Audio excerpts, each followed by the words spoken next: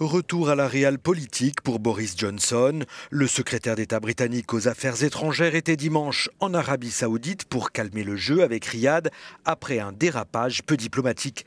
Lors d'une conférence, le Britannique avait accusé le régime saoudien d'organiser des guerres par procuration.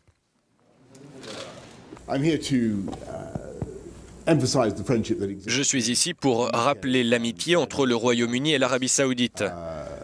Cette relation est en plein développement et en pleine expansion.